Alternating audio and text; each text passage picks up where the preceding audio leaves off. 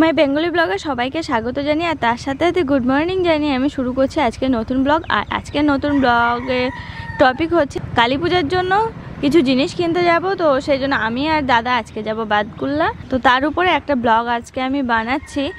আর এই যে সকাল সকাল শুরু করে দিয়েছি, আর সকাল সকাল শুরু করার একটাই কারণ হলো, আমি প্রতিদিন সকালবেলা ঘুম থেকে ওঠার পর আমার কাজকর্ম সেরে যখন আমি বাইরে বেরোই, তখন আমি এই আমাদের পুরো সবজি ভুঁইটা মানে এই সাইডটা এক পাক দিই।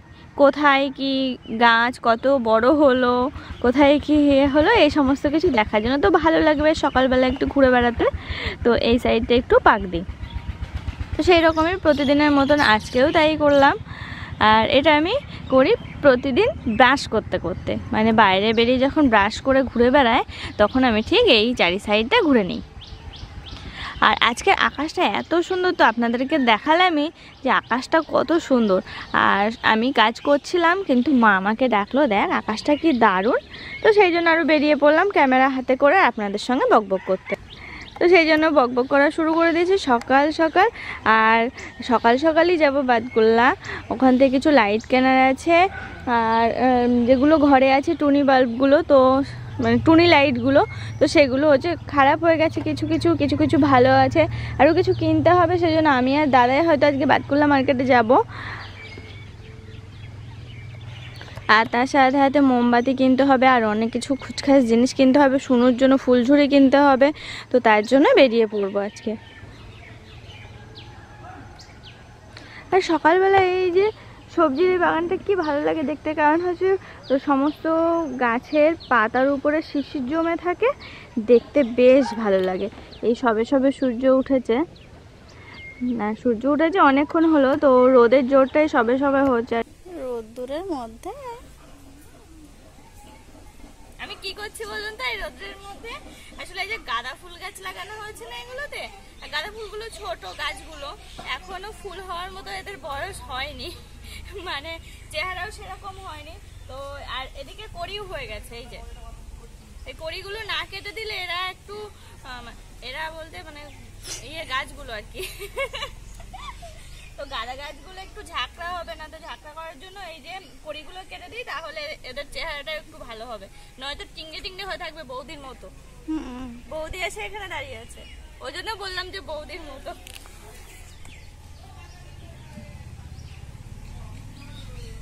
কড়িগুলো সব কেটে দেবো এখন। কিছুদিন পর থেকে ফুল হলে ঠিক আছে, আর একটু বেশি শীত পড়ুক, তখন ফুলগুলো বেশ ভালো হবে। আর এখন যদি ফুল হয়, তো গাছের তো চেহারা ভালোই হয়নি এখনও, তো ভালো হবে না। এরকম অবস্থাতে ফুল হয়ে গাছ নষ্ট হয়ে যাবে। তো সেটাই করছি এখন। আর দাদা ওই সাইডে, ও আজকে হাত দিয়েছে আমাদের চন্দ্রমল্লিকা গাছে। চন্দ্রমল্লিকা গাছের যে ডগাগুলো কেটে, আবার সেই ডগাগুলো পুঁতে দেওয়া হচ্ছে।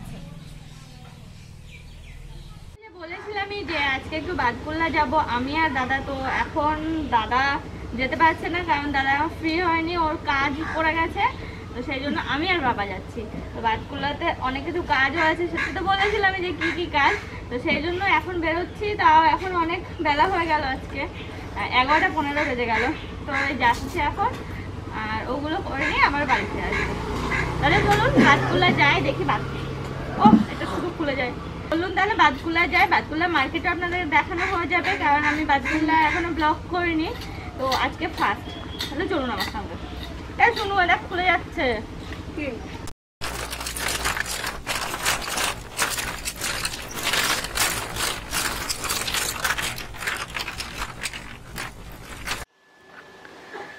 তো আমরা চূর্ণির যে ব্রিজটা আমাদের ওখানে পেরোতে হয়, সেটা পেরিয়ে আমরা এখানে এসে দাঁড়িয়ে আছি। কারণ হচ্ছে বাবা একটু পিছনে গেল। একটু দরকার আছে, তো সেটা সারতে গেল। আর আমরা আজকে ব্রিজে মানে বাবা আমাকে নামায়নি। বলল যে, চল, উঠে থাক, অসুবিধা নেই। তো বাবা চালিয়েই আজকে পার হলো। আর একদমই নতুন হয়েছে এটা, কারণ মাঝে তো নৌকা চলছিল, আপনারাও দেখেছেন। তবে পার হলাম আমরা। আসলে আমরা না, ওরকম অনেকেই পার হয়, তো সেটা কোনো ব্যাপার না আমাদের এখানে। মানে আমাদের কিছু মনেই হয় না এইসব ব্যাপারগুলো। হয়তো এটা ঠিক নয় ওই যে বাবা পিছনে গিয়ে দাঁড়িয়ে আছে, ওখানে একজনের সঙ্গে কথা বলছে, তো আমি এখানে একা একা চুপচাপ দাঁড়িয়ে আছি। এটা ফার্স্ট বললাম, এটা এতটা লুজ হবে বুঝতে পারিনি নয়তো চেঞ্জ করে নিতাম।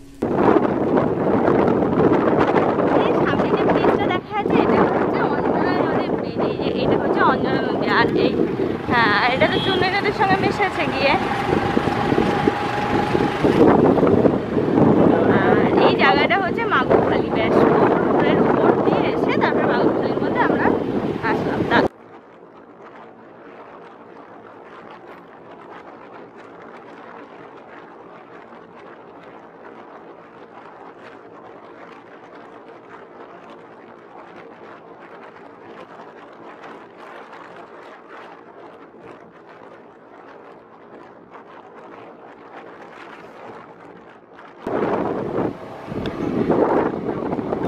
অঞ্জনাখালি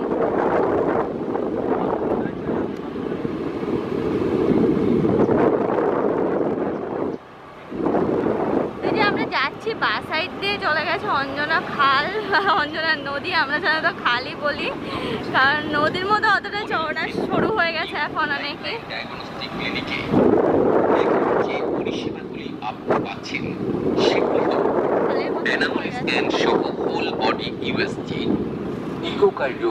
আর এই জায়গাটা হচ্ছে চন্দনদা। তার আগে ছেড়ে আসলাম বড় চুপড়ে বড় কুল্লো না, বড় কুল্লা যাই হোক, বড় কুল্লা আর তার আগে ছিল মাগুরখালি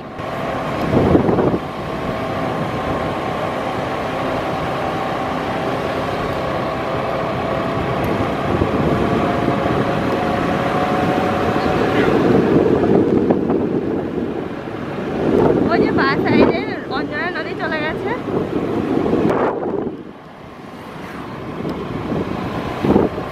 আর এই রাস্তাটা হেবি ফাঁকা আর সুন্দর রাস্তা তো সেই জন্য এদিক দিয়ে আসতে বেশ ভালো লাগে আরেক দিক দিয়ে যাওয়া যায় মামজার হয়ে তো সেটা দিয়ে আর যায় না এখান দিয়ে যেতে বেশি সুবিধা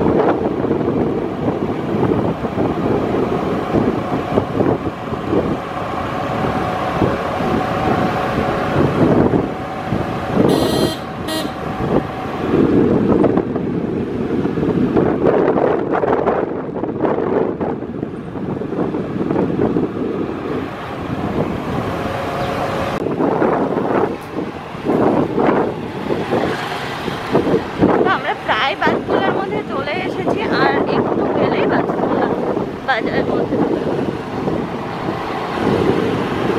দোকান বন্ধ।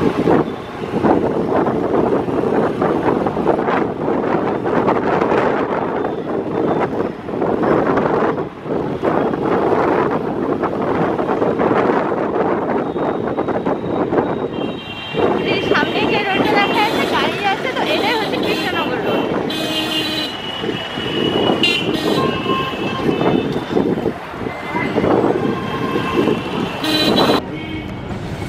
তো বাতকুল্লা আমরা এই জায়গায় পৌঁছে গেছি, এই জায়গাটা বাজারের হাট বসে, আর এই জায়গাটার নাম হচ্ছে ধানহাট।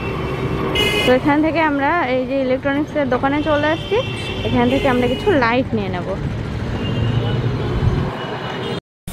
বাবা, সাংঘাতিক রোদ। তো আমরা ওখানে পাইনি মানে আমাদের অনেক বড় বড় দরকার ছিল, তো সেগুলো পাইনি, ছোট ছোট ছিল সেগুলো নিইনি আর এখন চলে আসলাম এখানে। তো দেখি এখানে পাই কি?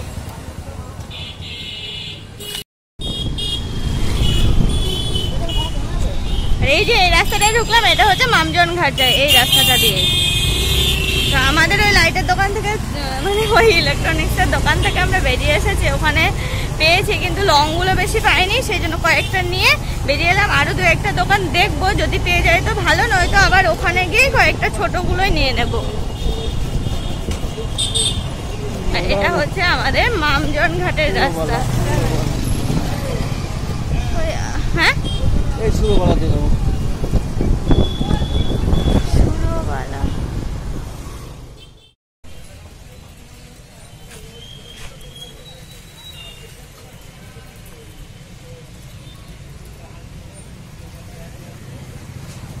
তো আমি বললাম যে এই রাস্তাটা হচ্ছে মামজন ঘাটের রাস্তা, তো এটা এর সাথে আসিনি।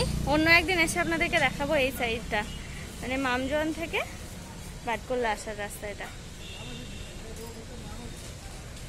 গেলেও হয়। দেখি বাবা কি বলে। যদি এদিক দিয়ে যেতে বলে, তাহলে এদিক দিয়েই যাব। ছোটবেলায় বাদকুল্লায় খুব আসতাম। অনামি ক্লাবে আসতাম, যখন ফাইভ সিক্সে পড়তাম, ঠিক সেই সময়।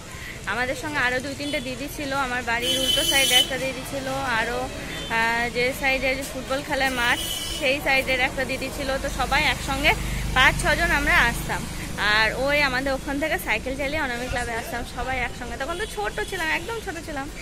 তো তাও আসতাম। আর মাঝে মাঝে ওদের সাইকেলের পিছনে বসে বসেও আসতাম। তো মজাই ছিল আলাদা। ও সাংঘাতিক রোদ আজকে আমি ছাতা নিয়ে আসতে ভুলে গেছি, স্কার্ফ নিয়ে আসতে অন্যদিন সেটা পর্যন্ত নিয়ে আসতে ভুলে গেছি। বিশাল রোদ, আর এই যে এইগুলো আরও দরকার চার পাঁচটা তো সেটা খোঁজার জন্য সারা মার্কেট ঘুরে ফেললাম, কিন্তু পাচ্ছি না। দেখি আর দু একটা দোকান দেখব না হলে যেগুলো পাচ্ছি, এর থেকে একটু কম আছে সেগুলো নিয়ে নেব। এই একটা পেয়েছি। তো এইগুলোর বাবা ফাইবার, ফাইবারগুলো চাইছিল আর কি। একটু হালকা হবে, এগুলো তো সাংঘাতিক ভারী। চলো গাড়িতে যাই।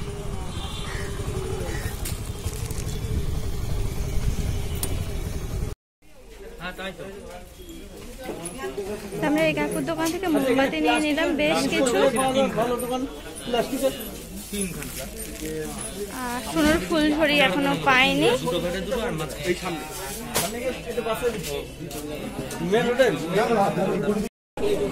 চলো।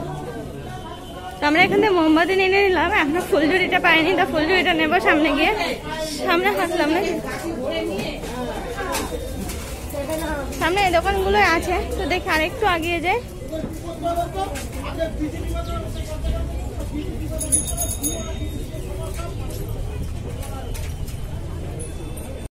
আমরা ঢুকে পড়েছি এই মার্কেটের মধ্যে আসে হ্যাঙ্গার খুঁজতে।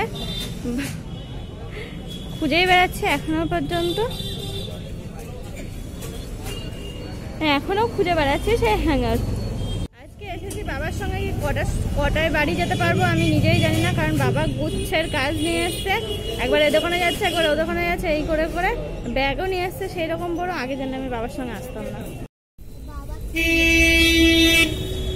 তো যে কিছু ফুলঝুরি তারপরে রং মশাল এইগুলো নিয়ে নিলাম একবার একটা শুনোর জন্য।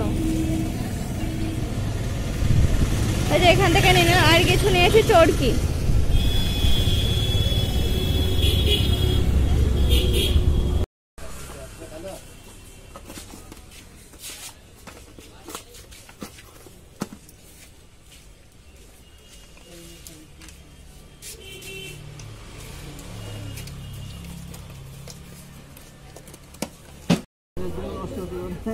এই যে অনেক লাইট নিলাম, শেষে ফিরে এসে আবার এই দোকান থেকে নিলাম, কারণ ওইদিকে দোকানগুলোতে সেরকম ভরসা পেলাম না নেওয়ার।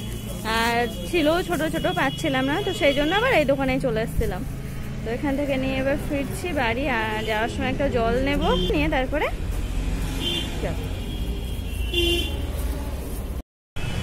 আর এই যে নিয়ে নিলাম কয়েকটা কমলা কমলা লেবু আর সিঙ্গাপুরের কলা।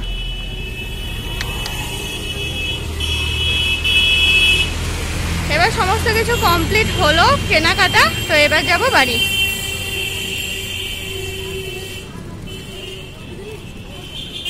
অনেক জিনিস তো এগুলো এবার নিয়ে সব বাড়ি যাব। সব কিছু মোটামুটি কেনা হয়ে গেছে।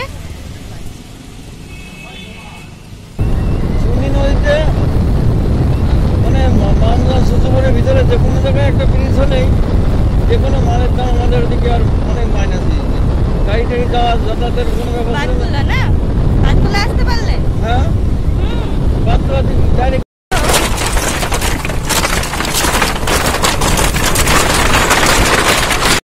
চলে যে পৌঁছে গেছে আমাদের হাজরাপুর ঘাট। ঘাট পেরোলাম এক্ষুনি আর আমাদের স্কুল প্রাইমারি স্কুল হরিসভা মাঠ। এই যে সারাদিনে তো অনেক কিছু করলাম আপনাদেরকে তো সেটা দেখালাম আমি আর আপনাদেরকে তো আমার সঙ্গে সঙ্গে নিয়েও গেলাম। আবার বাড়িতেও ফিরে নিয়ে আসলাম। তো আসার পরে স্নান টান করে খাওয়া দাওয়া করে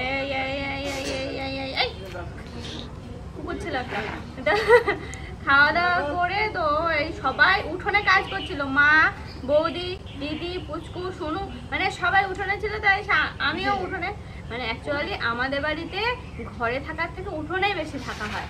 কারণ বাইরেটা বেশি ভালো লাগে ঘরে অতটা ভালো লাগে না। আর ঘরে ওই যে সেই দরজা আটকে থাকা টাকা এসব একটু ভালো লাগে না ঘরের মধ্যে থাকা। তো সেই জন্য তো সেই জন্য সবাই যেহেতু উঠোনে চলে বসে আছে তা আমি ভাবলাম আমি কেন ঘরে থাকব? আর ঘরেই বা আমি কেন আপনাদের সঙ্গে কথা বলব? বাইরে চলে আসছি। এসে ওই হাতে তুলি। আর আপনারা তো সেই কন্টিনিউ জিজ্ঞেস করে গেছেন লক্ষ্মী পূজার পর থেকে যে আমি কী কালার ইউজ করি আমি কী কালার ইউজ করি তো সেটা বলা হয়ে উঠছিল না। তো আজকে ভাবলাম একটু সুযোগ পেয়েছি বলেই নিই সবাই বাইরেও আছে আর আমি একটু গল্প করে নিই।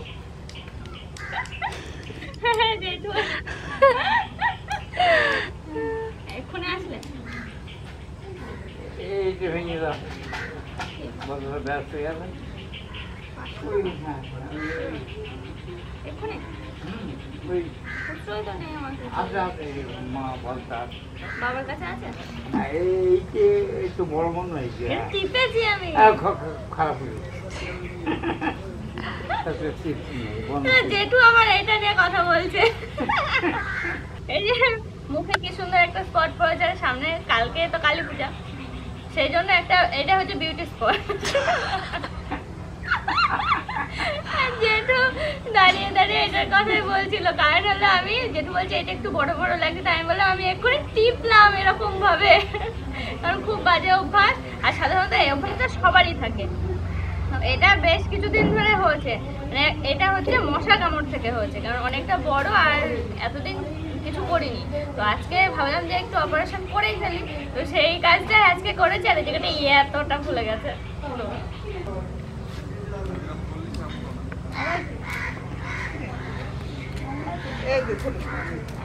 তা অত দূরে বসবে কেন এখানে বসো। আউরি হ্যাঁ। এই তো। জেঠু বসে পড়েছে। এসো তুমি চলে এসো সবাই মিলে এসো। এসো এসো না আসলে হয়। শুনু বাবা অনেক উপরে ছিল ছাদে ছিল আর আমি বৌদি আর জেঠু আসলো। তো এই যে আমি তো বসে পড়েছি অনেকক্ষণ হলো। সবার সঙ্গে কথা বলতে বলতে একটু লেট হয়ে গেল আর আপনাদেরকেও দেখাতে লেট হয়ে গেল। ও আর জেঠু যে টাকাটা ভাঙাবে সেই জন্য আমি এখানে রাখুন দাঁড়াও। আমার হাতে টাকা ছিল। তো এই তুলি মানে ব্রাশ আমি সাধারণত ইউজ করি এই যে লোমের যেগুলো মা তুই আবার কি করছিস? চারিদিকে কোনটা কি নেব বুঝতে পারছি না। তো ওই যে লোমের তুলিগুলো সাধারণত ভালো আলপনার ক্ষেত্রে। আর সিনথেটিক তুলিগুলো নিলে কি হয়? ওই ডগার দিক থেকে আস্তে আস্তে সেই কেমন যেন হয়ে যায় বাঁকা হয়ে যায়। আর সব সময়ের জন্য যে কোনো ড্রয়িং এর ক্ষেত্রে হোক বা কোনো কিছুর ক্ষেত্রেই হোক তুলিগুলো সবসময় ধুয়ে রাখার চেষ্টা করতে হয়। নয়তো এ তো লোমের তুলি জলের মধ্যে থাকলে মানে ভেজা থাকলে নষ্ট হয়ে যায় পচে যায়। তো সেই রকম ভাবে আমি এরকম ইউজ করি। আর তুলির সাইজের কোনো ঠিক নেই। যার যেটা ভালো লাগবে যার মনে হবে যে এই সাইজ দিয়ে করলে বেটার হবে। তো সেটাই ইউজ করতে পারে। আর আমি ইউজ করি সাধারণত ছয় চার। আর আট দিয়ে করলে অনেকটা মোটা হয়ে যায়। ভরাটার ক্ষেত্রে আট কাজ দেয় বারো কাজ দেয় আর চ্যাপ্টা তুলিগুলো কাজ দেয়। তো সেগুলোও আছে।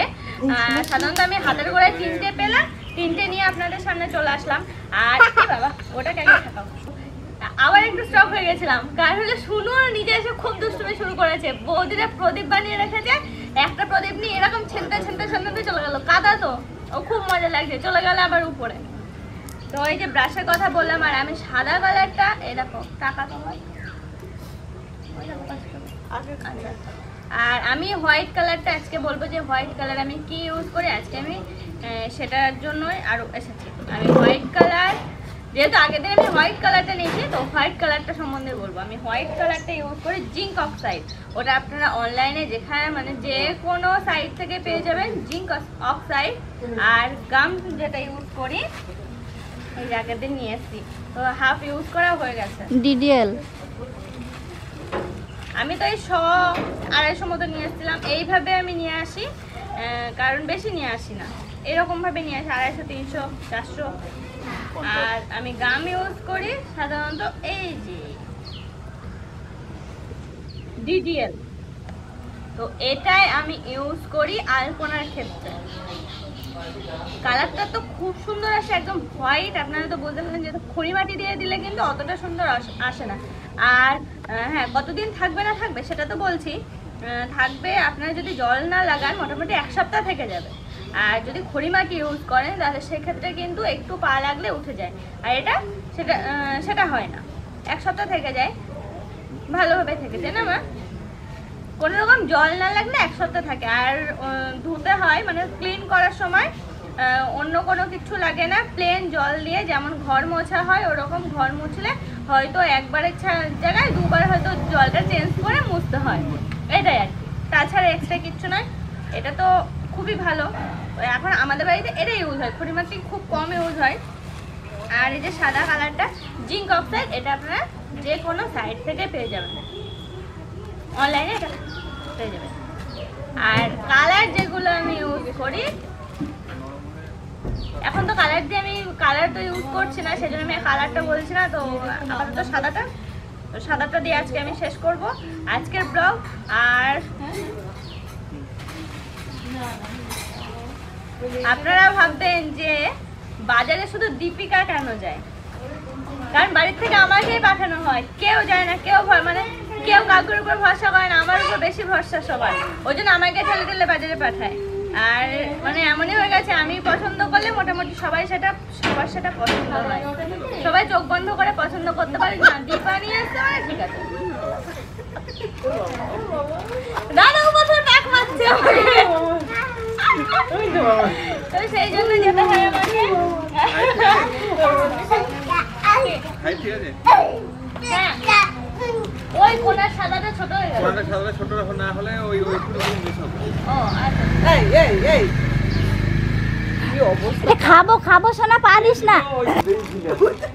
আর আশেপাশে তো আওয়াজ পাচ্ছি না, যে বললাম যে সবাই আছে তো হ্যাঁ সবাই আছে এখন, আমরা সবাই এই উঠোনেই থাকব, বেশ কিছুক্ষণ যতক্ষণ আলো আছে ততক্ষণ। আর আজকের ব্লগটা রাখব এই পর্যন্ত, আশা করি ভালো লেগেছে, আর ভালো লাগলে কিন্তু অবশ্যই করে সাবস্ক্রাইব করে ফেলবেন আমার চ্যানেলটিকে। আর পাশে থাকা বেল আইকনটি কিন্তু প্রেস করবেন নোটিফিকেশন পাওয়ার জন্য অল অপশনটি ক্লিক করে নেবেন। তাহলে কিন্তু আমার ভিডিওর সমস্ত নোটিফিকেশন আপনারা পেয়ে যাবেন। আর তার সাথে সাথে লাইক কমেন্ট শেয়ার এগুলো তো অবশ্যই করবেন সেগুলো তাহলে আজকের মতো টাটা। আবার দেখা হবে যে আমরা কালী পুজোতে কতটা কি আনন্দ করছি হয়তো বাইরে যাব কিনা ঠিক নেই এখনও পর্যন্ত। তো বাড়িতে থেকে থেকেই আমি বাদগুলো থেকে কি নিয়ে আসলাম না নিয়ে আসলাম আলাদাভাবে কিছু দেখাইনি। আপনারা অলরেডি মানে আপনারা অবশ্যই বুঝতে পারবেন আর দেখতেও পারবেন যে আমি কি কি নিয়ে আসলাম। সেই জন্য আর আমি আলাদাভাবে দেখলাম না ওগুলো তো দেখতে পাবেন নেক্সট ব্লগে আর আমি কিছু কিছু দেখাবো যে বাড়িতে কালী পুজোর জন্য কী কি সাজানো গোছানো চলছে সেগুলো দেখাবো। এবার আমি একটা জিনিস দেখাচ্ছি। না শুনু একটা লেজের প্যাকেট নিয়েছে সেটা ও শোনো, তুমি উপর থেকে করো, তুমিও হবে। এর আগে উপর থেকে করছিল। তুমিও করতে পারবা। করবা না? আহ, বাবা, বাবা, বাবা। আর ওদিকে করে যে ক্যামেরা ফাট করে বৌদি ওদিকে ঘুরে। ওই জন্য আমি স্টপ হয়ে গেছি। আর একটা কথা বলা গেছে যে আপনারা তো বলেন যে আমার এটা দুঃসাহসও বলতে পারেন ট্রেনের ভিডিও আমি এত রিস্ক নিয়ে কেন ট্রেনের ভিডিও করতে যাই? হ্যানা তেনা নাম কিছু। এটার কারণ একটাই আছে সেটা আমি পরে কোনো একদিন আপনারা আপনারা ঠিক জানতে পারবেন আস্তে আস্তে যেন কেন আমি ট্রেনের দিকে ছুটে যাই। আমি বলে দিচ্ছি। আপনারা কিন্তু অবশ্যই বুঝতে পারবেন বা আহ, আমি আমি মুখে বলে দেবো যে আমি ট্রেনের দিকে ছুটে যাই। আর আপনারা এত কিছু বলেন বাড়ি এত কিছু বলে কেন আমি শুনি না? একটু সাহসটা বেশি দেখি ট্রেনের দিকে আর ওই যে ঘটনাটা আমার সঙ্গে ঘটেছে, ওরকম মাঝে মাঝেই ঘটে। আর অবশ্যই এখনও কোনো দিন ফাইন দিতে হয়নি তার জন্য। হয়তো মেয়ে মানুষ বলে ছেড়ে দেয়, কিন্তু এখনও পর্যন্ত ফাইন দিতে। আমি জানি যা করি ঠিক নয়। তাও করি। আর কেন করি সেটা তো জানতে পারবেনই। আর আপনাদের যেহেতু সমস্ত কিছু শেয়ার করতে শুরু করেছি তো এক এক করে সব কিছু জানতে পারবেন। তাহলে আজকের মতো আবার দেখা হবে কালকে। হয়তো এই ড্রেসেই দেখতে পারবেন